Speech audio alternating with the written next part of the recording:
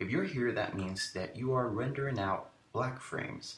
Um, I'm going to just show you why that happens. Um, the reason why it happened to me was because I was dragging this file from a Maya 2014 version all the way through this um, Maya 2016 student version, which is uh, Service Pack 5, I believe. Now, if you're working with uh, extension 2 of 2016, uh, this won't work for you. Why? Because this uh, problem only happens uh, if you have render layers, and the extension 2 uh, no longer works with uh, your render layers right here, as this one does. Um, so, what my problem was um, that I couldn't change between one or the other. You see, I have the occlusion render layer and I have a depth a render layer right here. And uh, whenever I could, some of the shading network disappeared, most of it actually. So let's see if I can right now. I'm going to go over to the occlusion and I'm going to hit 5 just to see what is going on. As And as you can see, yeah, I get uh, green. Green means that there is absolutely no connection um, between an object and a shading network. That means that it is without any shader or texture, if you will. Um, so yeah, the solution, again, is quite simple. I will just type down fix render layer out adjustment errors and I semicolon, there we go, and I click enter. Now it will take a while, just about 10 15 seconds at the most. Uh, that depends on the size of your scene, and whenever it's done, it will tell you that it's done right here.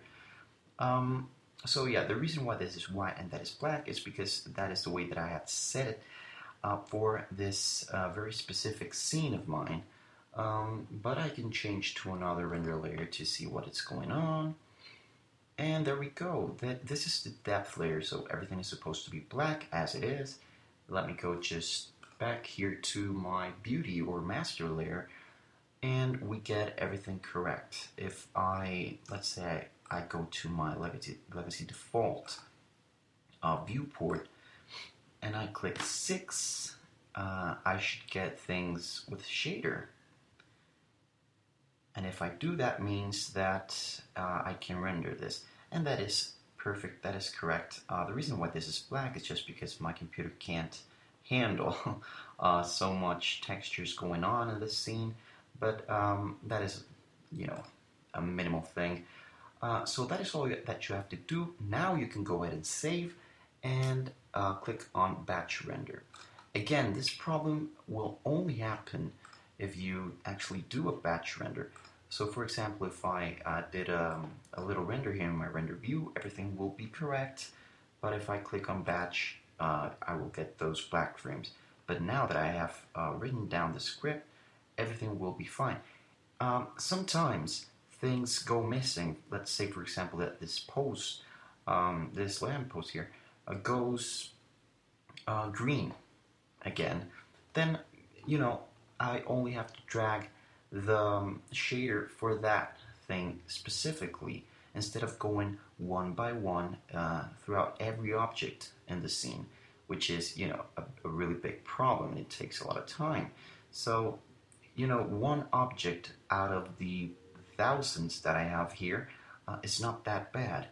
Um, but you can go ahead and write the script down as many times as you need in order for this to work. And uh, well, I hope that it does work for you. It is a little bit like magic, let me tell you. It's so simple. And I do recommend that you write it down, that you take it with you in a little text file. Um, so, yeah, that's it. Thank you guys for watching.